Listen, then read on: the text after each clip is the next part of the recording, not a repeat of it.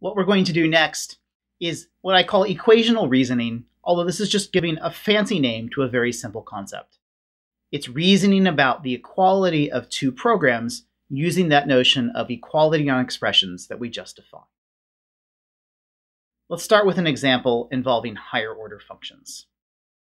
Back when we learned higher order functions, we studied the function twice, which applies the function f to its argument x twice.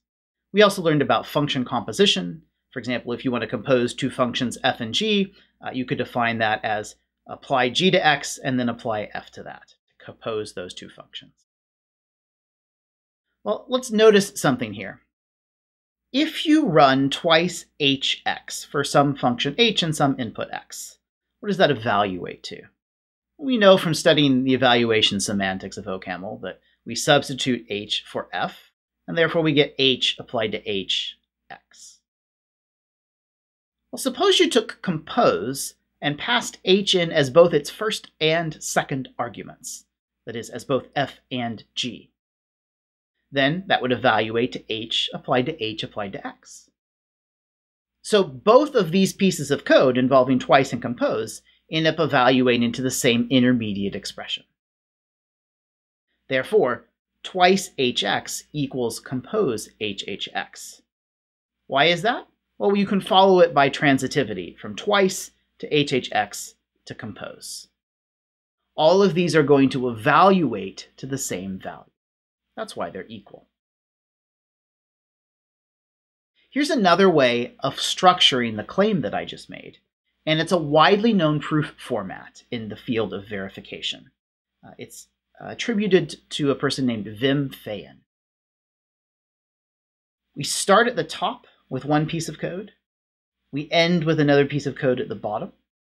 And there's a transitive chain of equalities between them.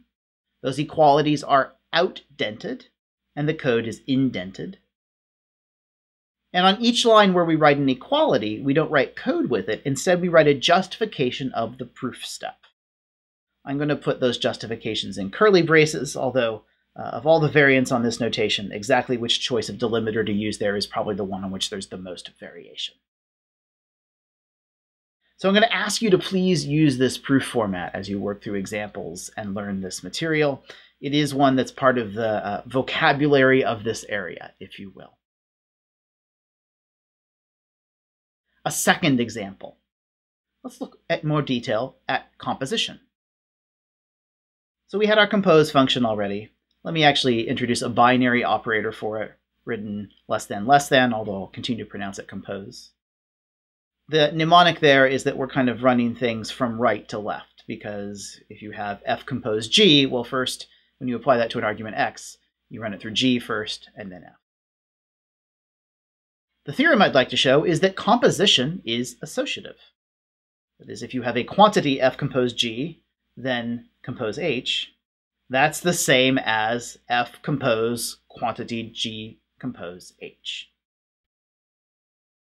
Well, to prove that, we're going to need to use extensionality, because we're trying to prove the equality of two functions here. So by extensionality, two functions are equal if they produce the same output when applied to the same input. So we need to show that for all x, uh, the expression on the left here f compose g compose h applied to x is equal to the expression on the right, f compose quantity g compose h applied to x. Okay, let's do that proof. I've put the claim that we want to prove up here at the top, uh, and also at the very top, I've reminded us of what the definition of composition is. So one strategy for doing these kinds of proofs is to do them in a kind of two-column format. I'm going to start with the expression on the left in one column and the expression on the right in another column.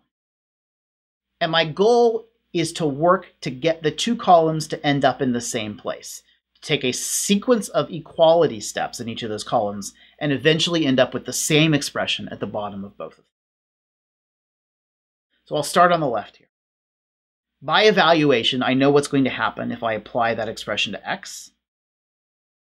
Um, and the reason I know that is because I have this definition of composition up here. I know that I'm going to take h and apply it to x. So H is fulfilling the role of F2 in the original definition.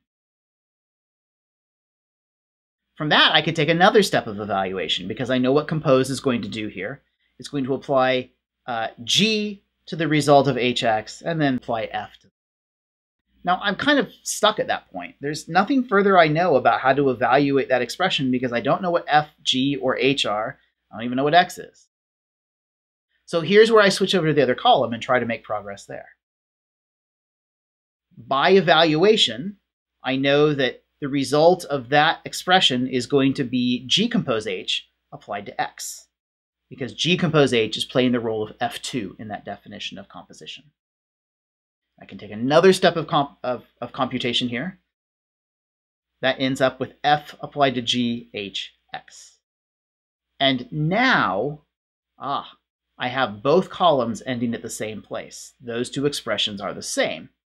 So now I've shown the equality of those original two expressions on the left and right hand side. And I can say I'm done. QED, uh, which our own Professor Gries likes to joke means quit, end, done.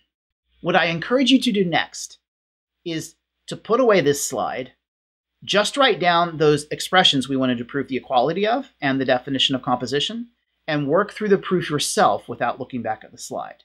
That should help uh, instill in your brain exactly what the thought process is for doing this kind of proof.